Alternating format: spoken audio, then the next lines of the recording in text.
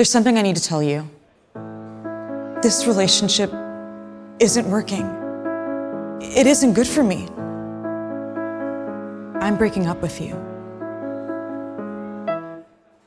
It's not me, it's you. I became dependent on you. And you were always there for me, even when I was at my worst. But I didn't realize the damage you were doing. You created a toxic environment. Not just for me, but others too.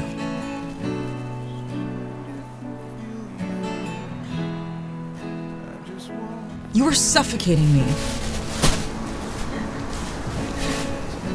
We're just no longer compatible. Also, there's one more thing. I met someone else. I'm respected in public. I'm making friends. I feel like I can breathe again. That's how I deserve to be treated. 我们之间结束了。 तुम फिर से कभी नहीं मुझे दुख दोगे Ni siquiera te necesito. Parce que j'ai une autre option.